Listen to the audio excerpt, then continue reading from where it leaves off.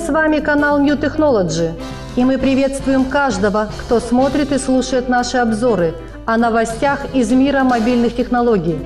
Сегодня вашему вниманию будут представлены девайсы от китайской компании Oppo, которая 23 марта провела презентацию своих новых смартфонов. Это Oppo F3 и Oppo F3 Plus. Начнем обзор с главной топовой модели линейки Selfie Expert. Это Oppo F3 Plus – и выделим его основные достоинства. Это двойная фронтальная камера, дисплей на 6 дюймов, процессор Snapdragon 653, батарея на 4000 мАч. Поставляться аппарат будет в картонной коробке белого цвета с фотографией смартфона на лицевой крышке, его названием и логотипом компании. В комплект входит сам девайс, зарядное устройство, микро-USB кабель, проводная гарнитура, пластиковый чехол, скрепка для извлечения лотка под сим-карты и техдокументация. Oppo F3 Plus получил металлический корпус с инновационной шестиполосной антенной, органично вписывающейся в металлический корпус. На его тыльной стороне находится основная камера и двухтонновая светодиодная вспышка. Ниже логотип компании-производителя – на левой грани расположены клавиши регулировки громкости, на правой кнопка включения и слот под две сим-карты с поддержкой LTE или одну карту памяти microCD объемом до 256 гигабайт. На верхней грани расположен только микрофон для шумоподавления. На нижней находится микро-USB-порт, аудиоразъем на 3,5 мм, основной динамик и микрофон – на лицевой панели находится большой 6-дюймовый IPS LCD дисплей с разрешением Full HD 1920 на 1080 точек и покрытый закаленным 2,5D стеклом Gorilla Glass 5, который придает смартфону флагманский внешний вид и устойчивость к повреждениям.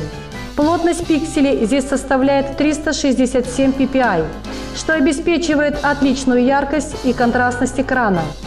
Под экраном находится механическая кнопка «Домой» со встроенным быстрым сканером отпечатков пальцев, который разблокирует F3 Plus всего за 0,2 секунды. Над экраном две фронтальные камеры, прорезь под динамик и датчик приближения и освещенности. При разработке основной камеры большое внимание уделялось съемке с быстрой фокусировкой, уменьшению количества шумов и повышению производительности в условиях низкой освещенности. 16-мегапиксельная основная камера построена на сенсоре IMX398 размером 1 на 2,8 дюйма и разрабатывалась в тесном сотрудничестве с компанией Sony. Двойной фазовый автофокус обеспечивает на 40% более быстрое наведение на объект съемки, даже в темном помещении – в паре с апертурой F1.7 снимки получаются качественными и четкими. АПО вновь подтвердила звание пионера в технологиях усовершенствования портретных снимков, предоставив улучшенный алгоритм избавления от недостатков Beautify 4. Есть всевозможные эффекты и наложения на готовый снимок – есть режим распознавания лиц, серийная съемка, сенсорный фокус, цифровой зум, выбор сцены, автоспуск, геометки, панорама, HDR, съемка видео 4К разрешения. Теперь поговорим о фронтальной камере. АПО уже много лет внедряет современные технологии для съемки качественных селфи. В 2012 году в смартфоне АПО была представлена первая вращающаяся камера – а уже в 2016 году F1 Plus первым получил 16-мегапиксельную фронтальную камеру. Двойной передний модуль повысит качество мобильной фотосъемки до новых высот, которые в будущем станут стандартом мобильной съемки. Фронтальная 16-мегапиксельная камера построена на базе 1,3-дюймового сенсора с повышенной светочувствительностью, что и создает четкие снимки – Большая апертура F2 реализует эффект чувствительности глубины, четкий фокус на объекте съемки при размытии общего заднего фона. 8-мегапиксельная широкоугольная 120-градусная камера захватывает на 105% больше изображения по сравнению со стандартной 80-градусной оптикой. В результате больше людей попадают в объектив, а эффект дисторции по краям кадра минимизируется. Этому способствует особая шестиэлементная оптика камеры и 1,4-дюймовый сенсор – Благодаря восьмиядерному процессору Qualcomm Snapdragon 653, который производится с использованием 28-нанометрового технологического процесса и предлагает восьмиядерную архитектуру блок из четырех высокопроизводительных ядер Cortex A72 с частотой до 1,95 ГГц и блок из четырех энергоэффективных ядер Cortex A53 с частотой 1,4 ГГц, новинка справляется со всеми современными задачами. Графический процессор Adreno 510, 4 гигабайта оперативной памяти и 64 гигабайта встроенной. Программное обеспечение Android 6 с фирменной оболочкой Color OS 3, которая потребляет меньше энергии и обеспечивает плавную производительность со встроенными функциями безопасности, Privacy Protection и антивирусом Avast.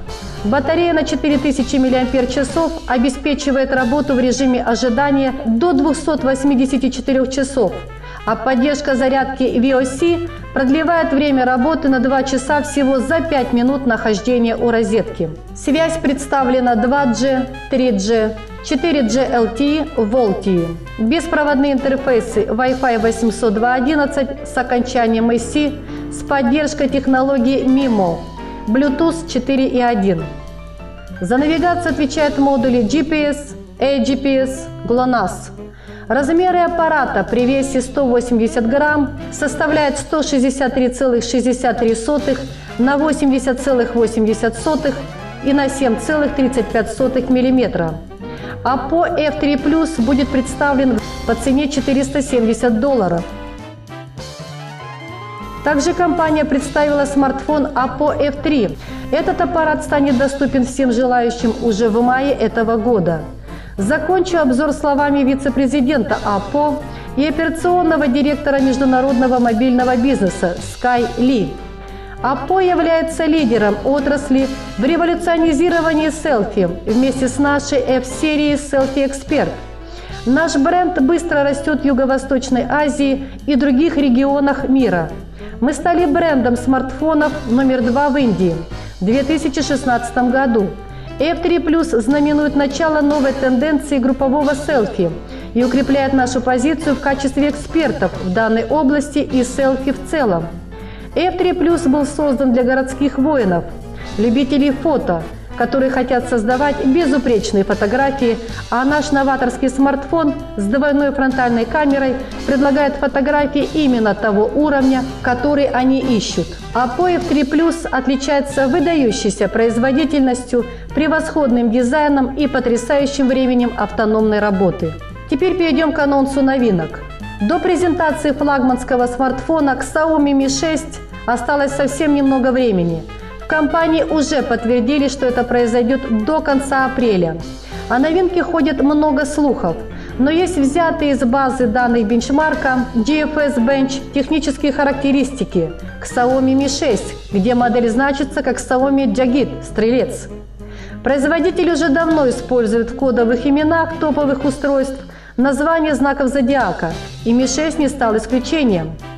Судя по всему, аппарат оснащается Full HD дисплеем с диагональю около 5,15 дюйма. Сердцем смартфона станет флагманская платформа Snapdragon 635 с ускорителем Adreno 540. В тестах графики чип показывает результат на 25-35% выше, чем прошлогодний Snapdragon 821. Частота ядер зависит от версии, а их будет две. Стандартная с 4 гигабайтами оперативной и 64 гигабайта встроенной памяти, а также вариант с 6 гигабайтами оперативной и флеш-накопителем на 128 гигабайт. Основная 12-мегапиксельная камера способна снимать 4К видео. Некоторые источники приписывают новинке сдвоенный модуль. Фронтальная камера на 8 мегапикселей – Операционная система Android 7.1.1 Nougat с оболочкой MUI. По слухам, на китайском рынке стоимость базовой модели Xiaomi Mi 6 составит около 290 долларов, а версия на 6 и 128 гигабайт обойдется примерно на 100 долларов дороже. Насколько слухи соответствуют действительности, узнаем уже после презентации этого девайса. Ну а на сегодня все. Спасибо всем, кто смотрит и слушает нас. Не пропустите наш следующий обзор. Подписывайтесь, комментируйте и ставьте лайки. С вами был канал New Technology. Bye-bye!